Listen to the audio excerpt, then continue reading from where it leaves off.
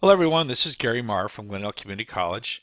This screencast is from my CIS 150 AB online class summer of 2017, Fundamentals of Object-Oriented Programming. Um, this first screencast, I just want to talk a little bit about what is out there in terms of the resources on Canvas, a little bit of my expectations, a little bit about this course and how I've taught it over the last 15, 16 years, and also remind everybody that is in fact a five-week online class so it's going to go quite quickly, and so I'm going to ask everybody to be paying attention while we do that. Let me start by saying this course was designed to give you introductory knowledge to structured programming, object-oriented programming, and event-driven programming. All three of these approaches are consistent with a software that's created in today's world of technology. This would help you on everything from developing website applications to mobile, tablet, to creating applications for the PC, even creating applications on mainframe computers.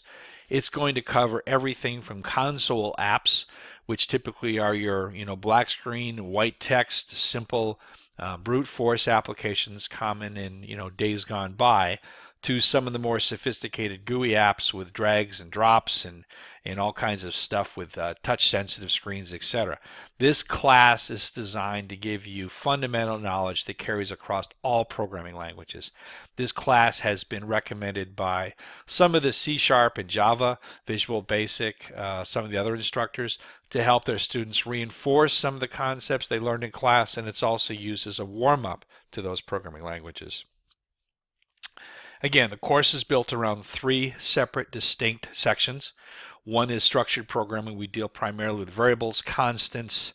We talk about modules. We do if statements uh, or decision structures. We do uh, looping, repetition structures, calculations, or sequence structures. Uh, typically, most of these examples will be done in um, pseudocode. I don't want to do too much with Python given the length of this class in five weeks, but Python is a very easy language to learn. It looks very much like pseudocode, which we'll talk about in our first chapters uh, lecture. But um, I'll use Python to show you and illustrate how the um, the program moves through logic and how its values change and how it actually performs the tasks you want it to do. And you may pick up Python in, in the course of this, but Python will not be on tests, it will not be in assignments unless you choose to use it. Uh, I have typically in the past, if you have a language you want to complete these assignments in outside of pseudocode, you may do that.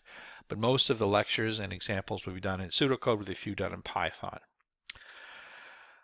I have programmed and been programming for many, many years, and I've worked both professionally at IBM, GE, Karsten, VSP, a whole bunch of places, Savin, uh, in various roles as a uh, designer of applications, um, working with users to develop their applications, third, fourth generation programming projects.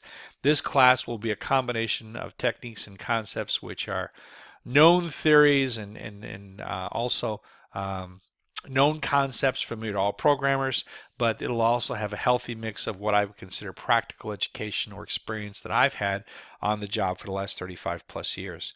So you're going to find a little bit of, of everything in there, and um, you're going to find that I'm going to talk about programming as being a very labor intensive activity, and I'm going to talk about the fact that most of you are going to have to get uh, a little dumbed down to be good programmers because computers don't think as well or as efficiently as humans do. And this will be part of the course that is more based on my experience as a programmer and as a person who's helped other people learn uh, how to how to program.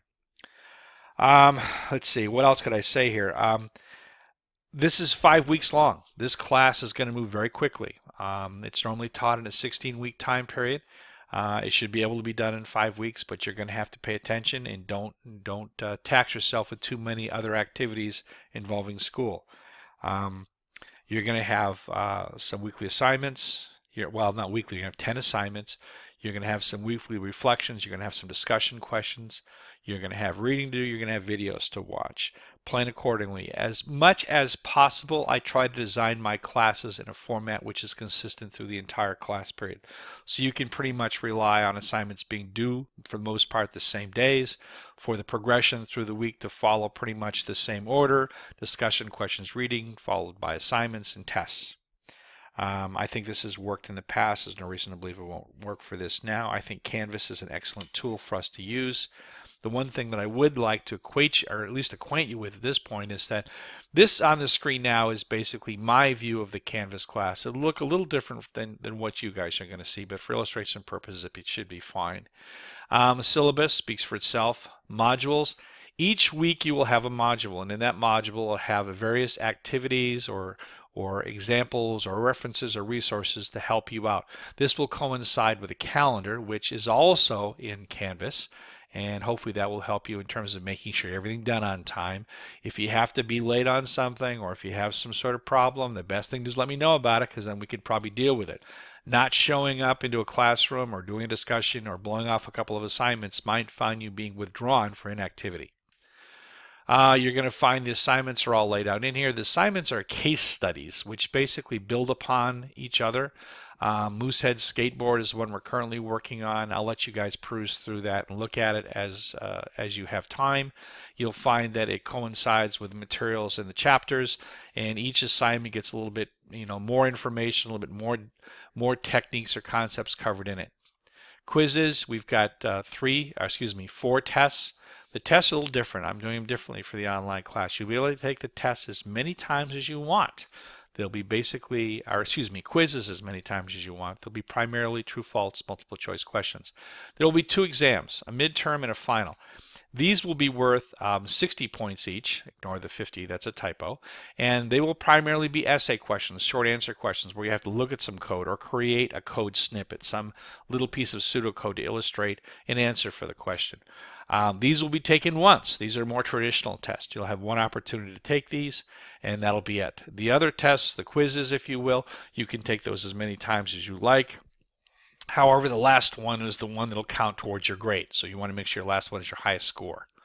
I will open these up so you can take these anytime throughout the semester and for all intents and purposes as many times as you would like to. Um, I don't I don't have any plans at this point of closing these quizzes off. Discussion questions, there's four questions in here. Uh, the discussion is important to cover those topics which aren't necessarily uh, those kind of empirical binary concepts, but just some things to think about, stuff that might show up as you're programming. Uh, things like uh, everything from why what you, why you're taking this class and what you want to be when you grow up to why programming standards are important. And there's four of these altogether, each worth 10 points.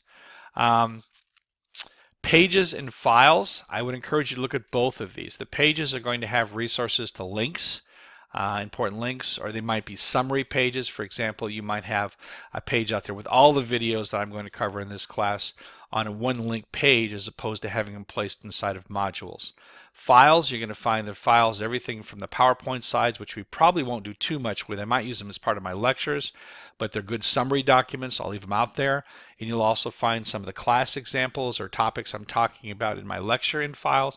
And you'll find some other um, files out there in files that might help you better understand the concepts being covered. Uh, any questions about there, obviously you want to ask me about them and you know I'll, I'll address it to you specifically or to the entire class if it's something everybody needs to know. Um, I don't have anything else right now to say except that on to chapter one. That will be the next video. This is our kickoff video and our video session and screen capture, if you will. Um, obviously, you guys give me a call, send me an email. Um, whatever you, whenever you have a question, just let me know. You'll be asked each each week to finish. I forgot about this. Each week you'll have a reflection assignment, which is uh, essentially um, a couple of paragraphs you'll send to me as part of Canvas that will talk about what you learned and where you're having problems, and that will let me uh, help you then, and also maybe understand uh, as a class where there might still be some questions I need to to uh, perhaps address in the next week is to kind of clear things up. That's it for now. Thank you very much. See you in Canvas. See you in class.